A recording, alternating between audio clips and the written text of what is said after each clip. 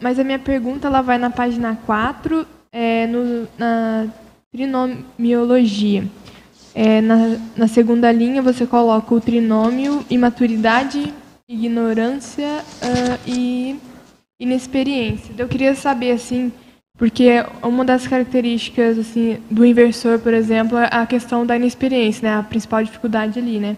Eu queria, queria que você comentasse sim é, sobre isso, né? Essa relação e sobre a questão do porão consciencial, assim, como que você vê esse trinômio com a questão da, da inexperiência e o do porão? Perfeito. Bom, a fase do porão é aquela fase na vida humana que a gente está mais típico ali na adolescência, né? Que a gente tem uma influência grande do nosso o nosso soma em desenvolvimento, uma, uma, carga alta de hormônios, né? O corpo se desenvolvendo, a gente tende a ter uh, manifestações mais emocionais, né? E, é, e isso dificulta a racionalidade até certo ponto. Então são fases onde muitos atos de maturidade são, são cometidos justamente é, por essa influência. Há também a influência da sociedade, que é uma fase que há toda uma indústria cultural por trás, né, fazendo esse tipo de, de pressão ou incentivando comportamentos imaturos, muitas vezes, para esse fim é, comercial, né, de lucro. Então, nesse contexto, se eu puder relacionar esse da inexperiência, imaturidade e ignorância, e também trazendo a síndrome Peter Pan, o que ocorre nesse contexto? É, a ignorância tem muito a ver por não querer saber, nesse caso aqui. Né? Não é uma ignorância irresponsável ou irresponsabilizável. Né? Então, não querer saber, porque hoje a informação está abundante, né? a gente sabe, é só acessar. Ah, e aí, essa imaturidade ela acaba vindo junto da, da, da manutenção. Então, o Peter Pan, no porão consciencial, é, é como se o porão consciencial dele fosse ser mantido. Ele vai ser mantido ali, mas aí não mais por uma questão somática, uma questão social, porque a sociedade vai até certo ponto, às vezes, dependendo da situação, trazer ele para cima. Ó, tem, tem, que virar adulto, né? Vamos embora. Então, muitas vezes vai ter esse tipo de, de incentivo. Às vezes não, tá? Mas pode acontecer. Então é de fato por essa, por essa saída, essa fuga da fantasia que ele vai conseguir é, é, manter-se assim. Então vejo que o porão uh, de uma pessoa com a síndrome de Peter Pan, talvez ela seja só mais uma. Entendeu? Um jovem com essa síndrome na época do porão, talvez passe batido. Vai ter muito por aí, entende?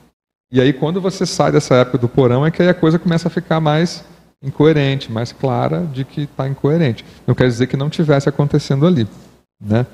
E, assim, em relação, acho que é o ponto mais interessante do ponto da Invex, da parte da inexperiência, as experiências nossas não serão experiências só de acertos.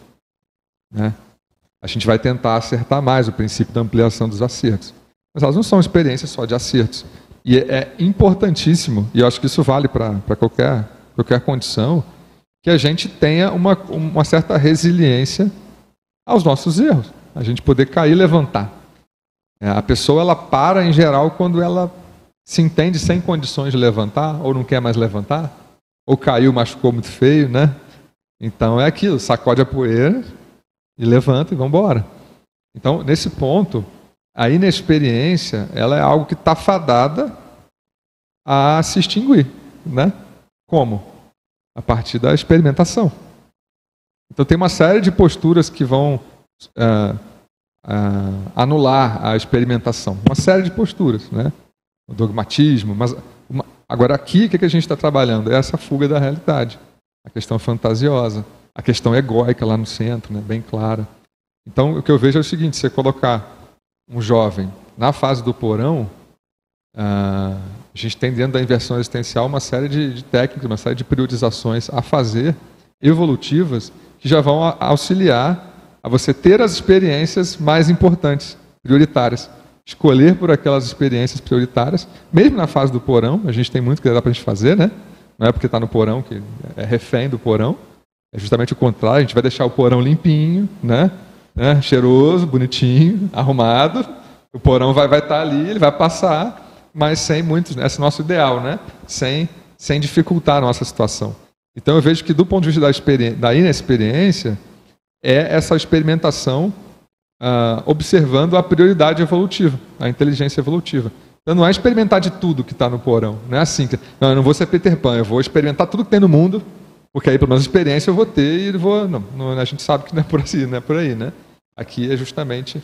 Mas eu acho eu, eu, uma coisa que traz nesse trinômio que eu posso correlacionar, eu acho que é, é importante ressaltar, é que a experimentação é algo muito frágil para uma pessoa que passa pela síndrome Peter Pan.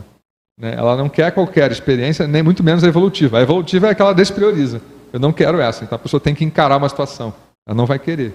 Ela vai escolher uma outra que não é, não vai gerar. Talvez até pode até ser evolutiva, mas é a, a, a última da lista, entendeu? A que, a que, dói menos. Então isso é uma postura que, que se comparar o jovem que está aplicando Invex, ele vai estar tá buscando justamente o contrário. Qual que é a, a experiência que eu preciso ter hoje?